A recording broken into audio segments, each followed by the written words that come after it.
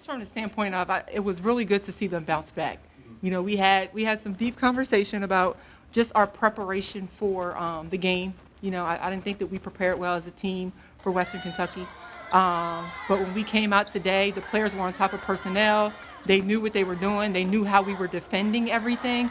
Um, and I thought they did a good job. And even when you know Rice started to go on a run, they stood they withstood the run. I thought they were just I mean just locked into the scout. You know, we talked about how we wanted to close out to their shooters, um, and then if they put it on the ground, rely on your help side.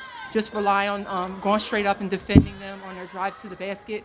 And again, they did a really good job. We had a couple lapses there where they got multiple offensive rebounds within possession, um, and it hurts you, you know, because now you have to play defense instead of playing it for 28 seconds. Now you have to go three times of that. But um, towards the end, we got stops. Our guards got in there and rebounded, and I mean that's why we came out on. I think that's one of the benefits and the strengths of basketball is being able to share it with others. Um, nobody did anything alone. We didn't rebound alone. We didn't, you know, put the ball in the basket alone. So just being able to do it with them and for everybody to be able to see that it's paying off is, is really fun. I think it's. I think it was more just kind of just stay calm. Like mm-hmm. we're fine. You know, we have the lead right now. Just protect the ball. We talked about what we wanted to look at and go to offensively.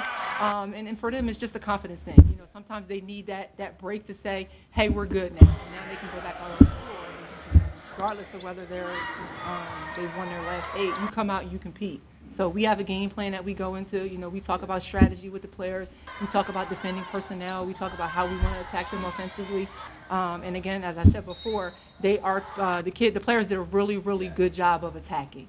They're, kind of methodical with the offense that they run. So anytime we can disrupt their rhythm a little bit um, and give them less time that they have to defend all of their motion stuff in the half court, it's beneficial. And they've been asking to press more.